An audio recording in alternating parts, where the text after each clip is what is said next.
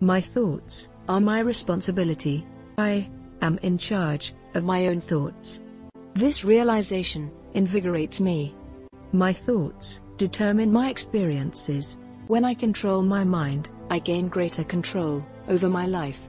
I know that challenges inevitably arise from time to time. This is just part of life. Still, it is my choice how to respond to them. I view demanding situations as an opportunity to learn and grow. This mindset reduces my anxiety and helps me to perform better. I train myself to think more positively.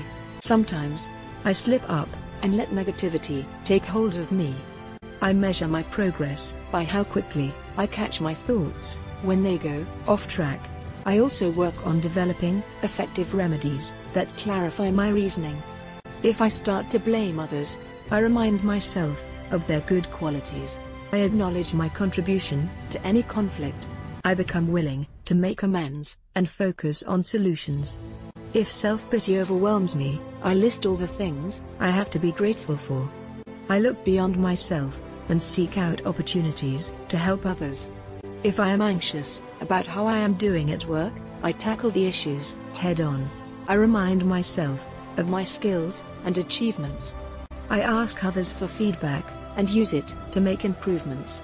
Today, I accept responsibility for my thoughts. A happy mind is certainly within my grasp. I choose to embrace it. Self-reflection questions. 1. How can my thoughts shape my experiences? 2. Do I really believe that I can control my thoughts? 3. How do my actions reflect my beliefs about the relationship between my thoughts and my experiences? Don't forget to like our video